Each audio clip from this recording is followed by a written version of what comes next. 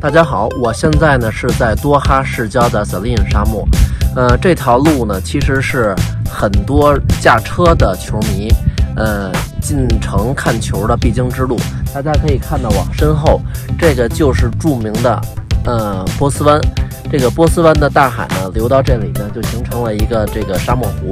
所以在这里呢，我们可以看到一种奇景，就是一半是沙漠，一半是海水。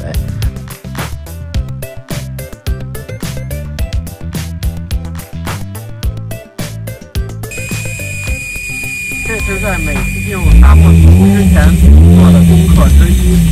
呃，工作人员呢必须得把车胎呢放一定的气，否则呢，这个越野车在进入沙漠地区以后呢，就极其容易陷入沙地里，无法动弹。大家可以跟我着我的镜头往前看啊，这个就是多哈市郊的沙漠地区，可以看到这个。天跟沙漠分界线非常的明显。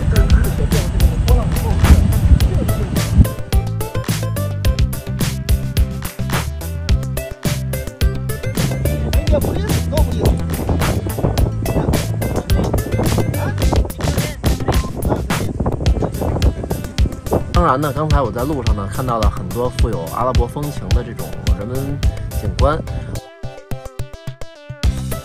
当然呢，还有一点，我觉得特别厉害的一点，就是在沙漠全程都有手机信号。